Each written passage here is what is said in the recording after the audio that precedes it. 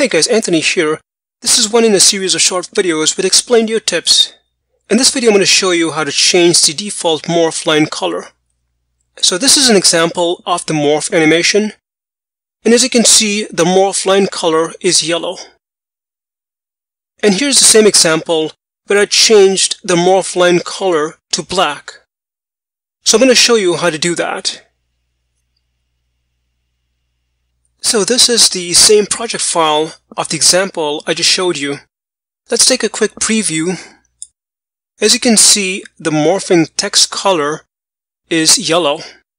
So to change the default yellow color, we need to first identify the element on the timeline, which is right here.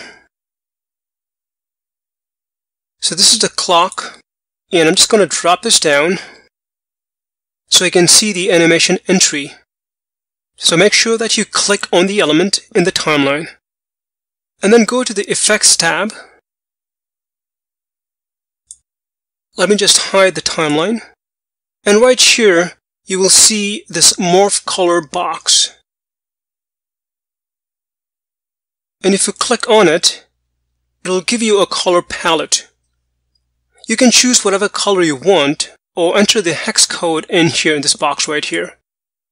I'm just going to choose black.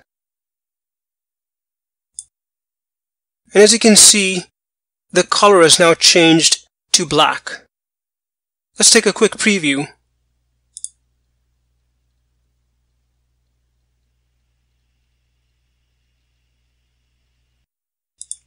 And that's pretty much it. Well, hope you found this helpful. Look for more short videos on Explaindio tips. Thanks for watching.